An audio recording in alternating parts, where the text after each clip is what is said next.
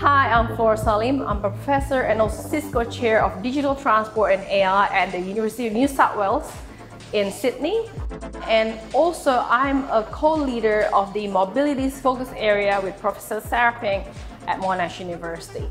So why is mobility important to examine when we talk about automated decision-making systems? Well, mobility is fundamental to life.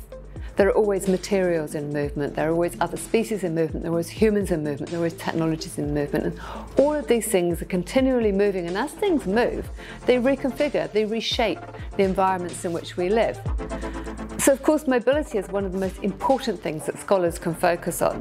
We all are social beings and we actually move around our lives. So a lot of things, a lot of decision making systems in our cities in buildings, in, in the way we work, is actually dependent on very much about where we are, where we're going, and our day to day routines. Mobility isn't also just about people.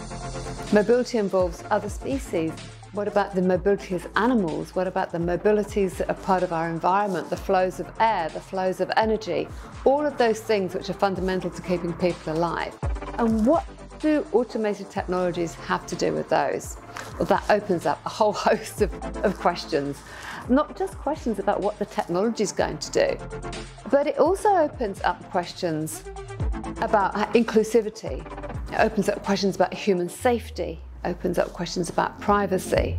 Therefore, investigation about mobility behavior and the methodology to actually understand including both the social ethnography aspect of it to the technical data science way of understanding and quantifying movement can actually help us to understand not only movement behavior but also for example demand for services demand for resources. What we really need to ask ourselves is how people want to move. We also need to understand how do people want to feel when we move? And how do not just those automated technologies that might move us, but also how do those automated technologies that might move with us, that we take with us, enable us to feel right? So what are the wearables that are going to form part of that in the future?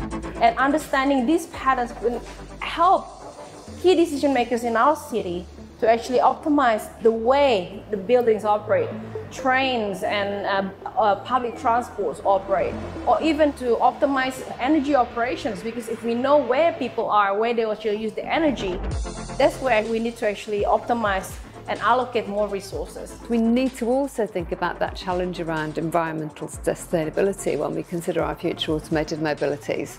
How can we best think about the future energy sources. How do we think about renewable energy and other sources which will actually enable us to not further damage the environment when we try to keep ourselves safe? So how do we actually go about designing the right technologies which are ethical, which are safe, and they're actually designed to support the way that we want to live in the future? There's so much concern, so much critique about the problems that automated technologies are going to cause. We also need to pay a lot more attention to what could go right. Because if we do develop and design these technologies in such ways that they support future human life in a way that encourages inclusivity, encourages safety, encourages care, then they can really benefit our future lives. So in the next year, I'd like to see mobility researchers in the Centre for Automated Decision Making Society really thinking about how we can do some new research around mobilities and automation. What are the new questions we need to ask? How do we move on from those questions that have always been asked?